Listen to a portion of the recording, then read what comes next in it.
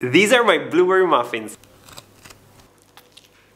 Mmm, my favorite muffin. To a large mixing bowl, add grated lemon zest, a milk of choice, we're using soy milk, sugar, a neutral vegetable oil, and vanilla extract. Whisk well until the ingredients are well combined. Now sift in the flour with baking powder and a pinch of salt. This is gonna make your muffin soft and fluffy. Whisk wet and dry ingredients for a short minute until lumps are gone, but without over mixing. Rinse the blueberries, shake the water off, then add them to a bowl, toss them with the cornstarch and add them to the batter. Stir and fold the blueberries in the mixture gently. Transfer the batter to the muffin liners. You should be able to make 12 muffins. You can fill them almost to the top. Then you can sprinkle some sugar on top or not. We're not gonna do it because we eat them for breakfast. Then bake in a preheated oven for 22 and a half minutes or until a toothpick inserted in the center comes out dry. Now let them cool down for about 30 minutes. Easy, right?